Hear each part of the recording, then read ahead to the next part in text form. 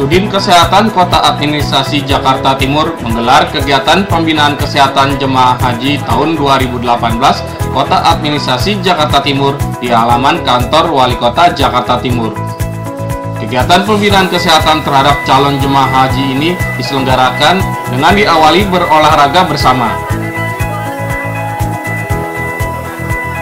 Kepala Seksi Pencegahan dan Pengendalian Penyakit Sudin Kesehatan Kota Administrasi Jakarta Timur, Vina Fitria mengatakan, kegiatan hari ini adalah kegiatan screening kebugaran untuk jemaah haji khusus wilayah Jakarta Timur. Vina menjelaskan pembinaan kesehatan bagi para calon jemaah haji ini juga dikolaborasikan dengan program tuberkulosis atau TB Kegiatan screening bagi jemaah haji ini diawali dengan olahraga untuk mengetahui sampai sejauh mana kebugaran para jemaah haji. Menurutnya, kegiatan hari ini merupakan pemeriksaan yang kedua bagi para calon jemaah haji, di mana pemeriksaan yang pertama sudah dilakukan di seluruh puskesmas yang ada di Jakarta Timur.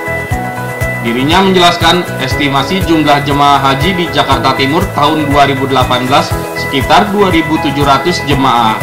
Sedangkan data jemaah yang ada di Sudin Kesehatan ada sekitar 2.500 jemaah dan masih ada yang akan menyusul lagi untuk mendapatkan pembinaan kesehatan.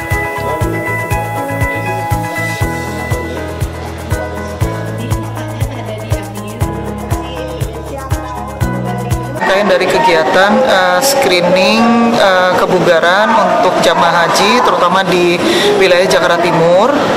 Uh, hari ini kita screening kira-kira sekitar 400 jamaah haji. Nah, ini memang uh, dari 10 kecamatan yang ada di Jakarta Timur. Nah, ini kami bekerjasama dengan Kementerian Agama dan juga KUA berikut juga KBIH karena mereka yang punya jemaah ya.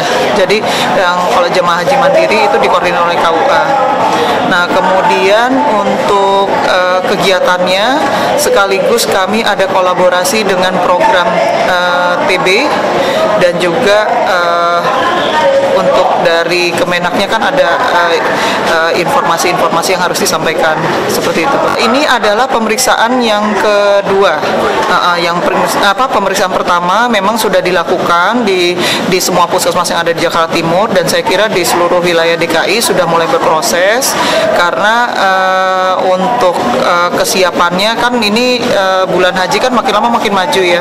Uh, rencananya kan kloter pertama itu tanggal 16 Juli 2018. Jadi uh, seluruh pemeriksaan kami harapkan bisa selesai uh, 30 Maret ini.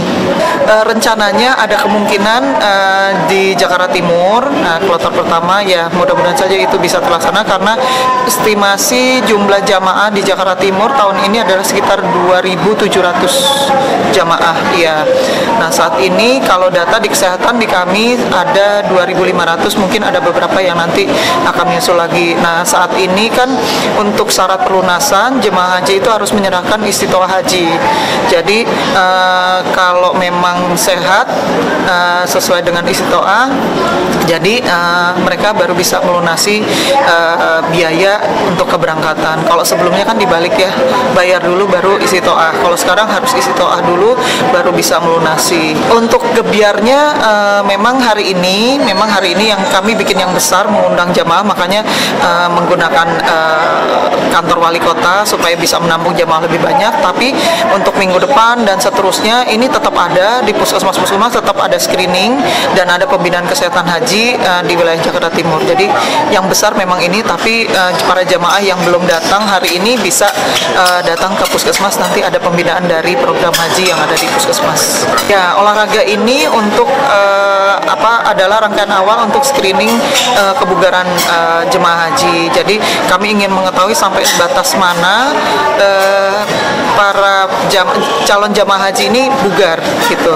Nanti kalau memang ada penyulit atau ada uh, sesuatu yang di luar dari uh, kesehatan misalnya kurang sehat dari hasil pemeriksaan itu kan nanti bisa di uh, diobati lebih lanjut dan juga screening untuk penyakit menular terutama TB.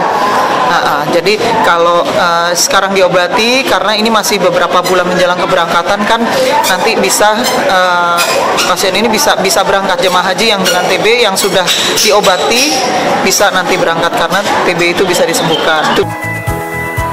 Dari kantor Wali Kota Jakarta Timur, tim Timur Jakarta Go ID melaporkan.